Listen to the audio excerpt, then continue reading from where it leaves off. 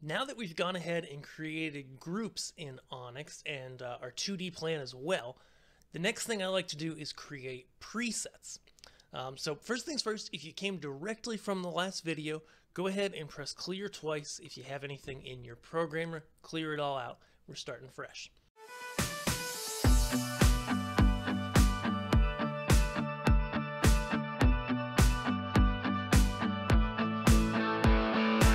Our demo file here, if we go up to the first view here, our fixtures presets, has a bunch of presets already built. So I want to talk quickly about what presets do, how to use them, why they matter so much, and then show you how to record one. It's so easy. So presets are really helpful because they're the building block. They're kind of an intermediary when we're building a cue, meaning that we select fixtures either individually or in groups. Then we apply presets. So for example, let me just grab uh, these fixtures individually, or I could have grabbed the group, probably should have. And then I could press this intensity at 100% and the lights turn on. That's how group presets work. Now you might be asking yourself, hey David, why don't I just go here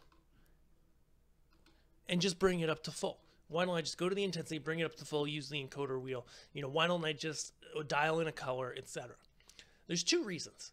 The first reason is it's quicker to have presets for your intensity, your pan tilt positions, your color, your gobos, your beam, all, all of your different parameters of your lights. It's it's easier to just go, hey, I want to go place these here, color, gobo, you know, focus it. Boom. You know, that's that's what I want. Boom, done, quick and easy. The more important reason, however, is when updating. So the beautiful thing about presets is they can be updated later. So you go to a new venue, you add new fixtures that you've cloned in, or uh, something moves on stage, a client walks in and requests a change maybe to this yellow. Um, and you've put that into a bunch of cues, right? You've taken one preset, say this yellow preset, and it might be in 10 cues, it might be in 20 cues. Uh, for example, the show file I start with has a ton of color combinations pre-programmed, and uh, and so if I needed to update every cue with yellow in it, I would have to go to each cue. I would have to figure out which lights are yellow, um, though there are some shortcuts there. Then I would then I would have to go change the yellow, update the cue, um, and move on to the next one and do it again. If I use a preset, all I do is update that yellow preset, and then I'm done. Like every cue that that yellow preset was used in gets updated. It gets fixed right away. It's beautiful. And so that's the beauty of presets. Um, not only with colors, but positions. You go to a new venue, all your positions are going to change. Okay. There's never a good reason to update a cue uh, when something could be updated with a preset. Cue updating is for actual changes to the cue, not just refining a color or position. So that's why presets are so important because when you use them and you need to update a position, a color, anything, it's going to save you so much time. Um, also, if you do end up using cloning, which is a little bit advanced, but it's where you bring in other lights, copy them into your show, um, presets are completely invaluable. It, it, cloning will not work right for many parameters without presets. It's, it's a key step to make sure you can customize uh, everything to work exactly as you need. So off my soapbox, we're just going to go ahead and clear twice and build our first preset. Uh, presets, as we see, are organized into the parameter groups that match what we see when we select a light and have our parameter groups here, okay? So all we have to do, say we're doing an intensity preset. We take some lights. Um, I do recommend every light that can do the given parameter should be stored into the preset. Okay, so you don't have to do one preset for your spots, one for your washes at full, one for your beams at full. You do one preset at full every light can be in that that has the full, uh, that is at full. Okay, so just as a demonstration, I'll go to my groups here.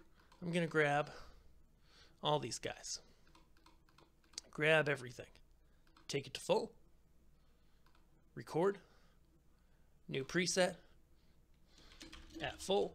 I know there already is one, but for the sake of demonstration, this is what we're going to do. Clear twice. Now, the benefit to presets, like I said, is you want to store everything into that preset because when you go to record a cue, you simply select the lights you want, and even though there's more lights in the preset, only the selected lights get the preset applied when we press that preset, as you can see here. All the lights are in this preset, they didn't all get brought to that preset into our programmer ready to record a cue. Only the lights we selected did. Okay, if you select lights and they're not in the preset and you press that preset, nothing's to happen. Presets, real important. Okay, so now that you've done that, uh, the, do take note that for presets, if you're going around here, and let's just, for example, take these lights, bring them to full, move them, pop them in a color. If I go let's say I go to my pan tilt presets and I want to record that pan tilt preset. Okay. Um, only by default, only the parameters in the given parameter group, in this case pan tilt, will record to that preset. Okay, uh, you can override it using these filters, um, but that's a little bit of an advanced topic, and honestly, I recommend not doing that unless you're absolutely sure you want to, because they can really make a mess of your preset window and make it harder to use your console.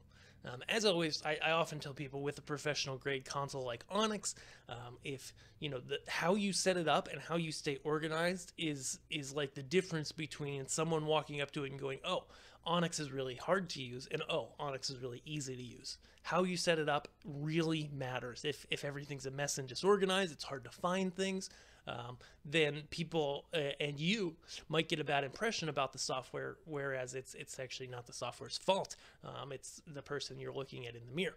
So um, if I recorded a pan tilt preset, even though I moved these, I turned them on, I made them green. The only thing that's stored there is pan tilt. So they just moved. If I highlight them, I can see they're there, but we didn't store green, we didn't store intensity, uh, just pan tilt. Okay, um, so those are presets. Uh, the beautiful thing about them in this demo file is that there are already a great number of presets programmed. If you're not using the demo file, if you're building your own file, I would go ahead and program out the major colors, positions, intensity, gobo, uh, beam, all the presets you'd want to use. And then join us in our next video because we're going to build some cues. We're going to show you how they work, teach you some tricks to get the most out of it. So if you're enjoying this video, please subscribe here to our Learn Stage Lighting Onyx channel and be sure to check out all of our channels, learnstagelighting.com, Learn Stage Lighting Gear. We want to help you make the best event possible by giving you the knowledge and the skills to make great lighting and providing you with the gear that you need in order to do it. So check us out, check out everything. We'd love to help you with anything you need. And in the next video, that would be cues. We'll see you there. Thanks.